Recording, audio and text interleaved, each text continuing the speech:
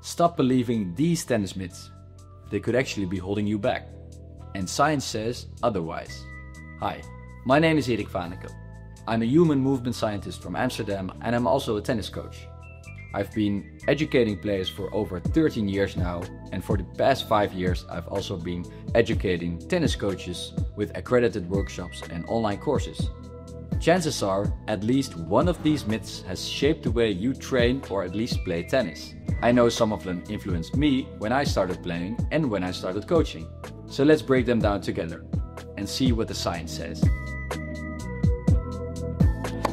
Myth 1 You can't improve coordination as an adult. Many players think that coordination is something you learn as a kid, or you don't, and that after a certain age you can't improve it anymore. But research shows this is far from the truth. Even adults can make significant improvements in coordination through specific training. Coordinative abilities like balance, rhythm, and reaction speed can all be trained well beyond childhood. For example, playing small sided games or playing new sports can create adaptations in our plastic brain that improve coordination. It is fair to say that you maybe have missed some windows of opportunity when you were younger but that doesn't mean you can't improve your coordination at a later stage. So instead of thinking, I'm too old to get better at this, realize that coordination is just like any other skill. If you can train it, you can still improve it. Myth 2 Always keep your eyes on the ball. This is a tip I hear very often, and I've given it myself to players in the early days when I started coaching. It sounds logical, and of course, you need to track the ball. But elite players don't just stare at it, Scientific studies show that anticipation is just as important, if not even more. Top players also register everything about their opponent, not just the ball. They pick on very subtle cues from the opponent the angle of their racket, the way they move, or the way they're gonna hit the ball. They combine ball tracking with constant information about the opponent's body language. That's why elite players seem so fast. They aren't reacting, they are anticipating. So don't just look at the ball. Also try to gain all the information from your opponent's movement and position. Myth 3. Block practice is the fastest way to learn.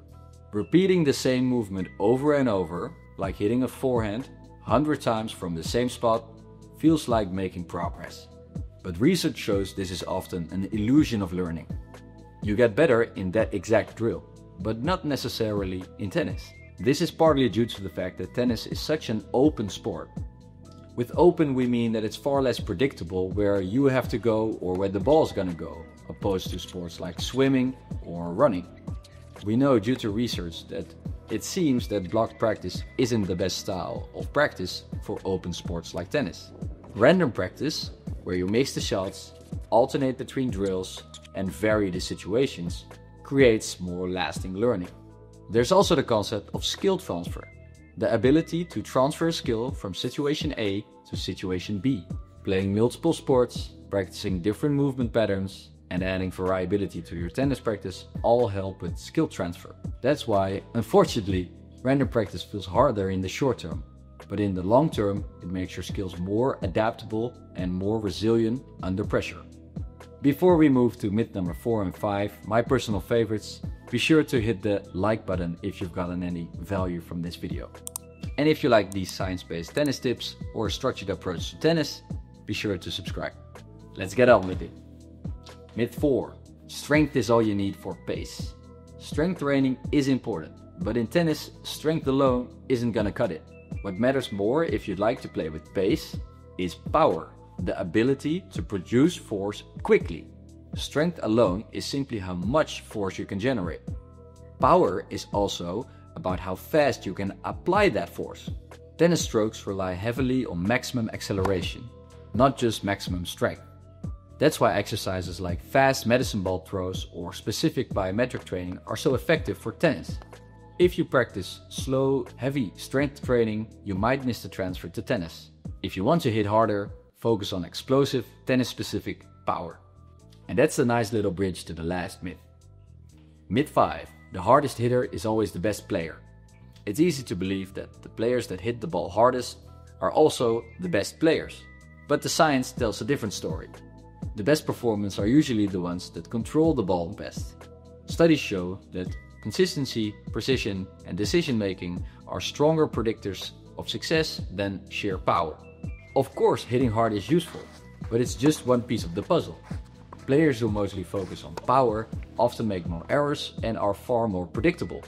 So, the next time you watch a pro match, pay attention. The winners, most of the times, aren't the hardest hitters. Most of the times, they're the smartest ones. So, which of these myths surprised you the most? I'd love to hear your thoughts in the comments. And if you want to read more extensively about all the scientific references, see the links below. Thanks for watching, I appreciate you taking the time, and see you in the next one.